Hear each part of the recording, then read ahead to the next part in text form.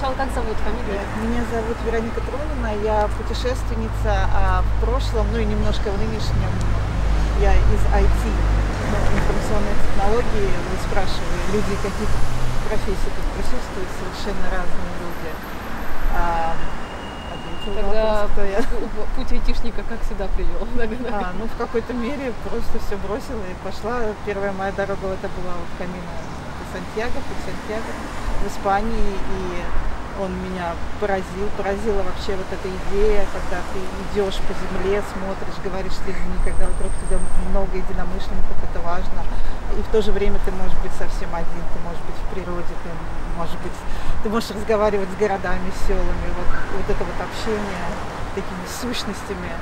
А, ну и, конечно же, я, как только я вот, ну, ты приходишь в Европу и смотришь действительно на эту развитую инфраструктуру, именно пути, именно пеших маршрутов, ты думаешь, а у нас, а у нас, а как можно сделать это у нас? Так думаешь, тысячи километров тайги. И так, вот. И действительно, вот в прошлом году родилась эта идея сделать путь Ломоносова, и как-то она, честно говоря, наверное, меня вдохновляет некоторые безумные идеи. Вот. Но и мне кажется, тут собрались все, кого вдохновляют такие идеи.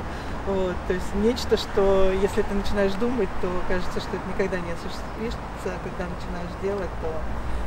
Ну и вот да, то есть в прошлом году я у нас было обсуждение в группе Камина де Сантьяго, вот с Аллой тоже мы так это активно обсуждали и как бы подумали, что надо начать.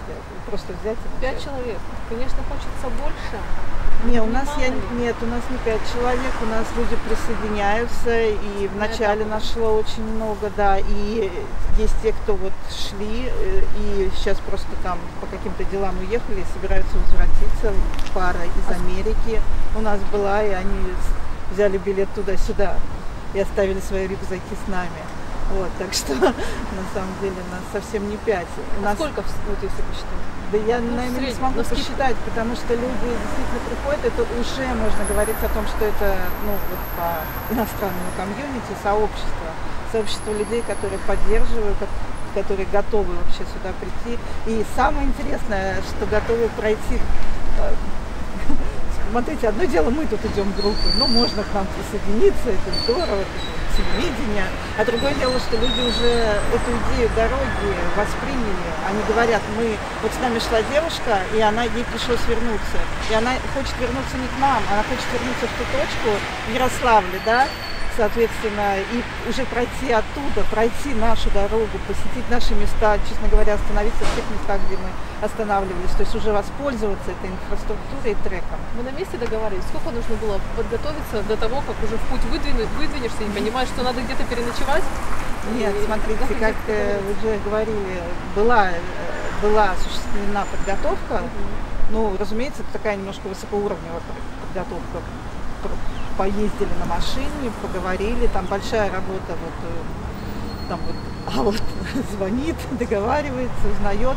Разумеется, могут быть накладки. Мало того, разумеется, могут быть э, участки, где вот мы не знаем, где мы остановимся. Ну да, решаем этот вопрос.